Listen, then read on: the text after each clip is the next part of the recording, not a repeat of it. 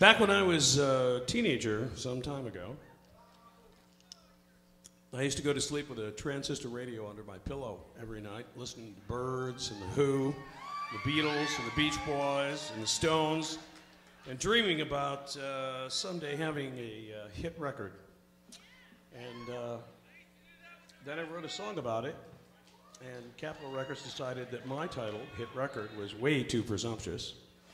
So they changed it to the much less presumptuous Overnight Sensation. Thank you. And this is it.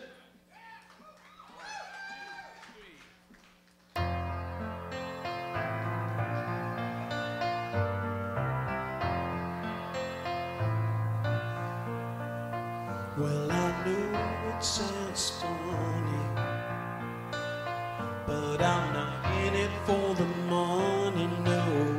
I don't need no reputation,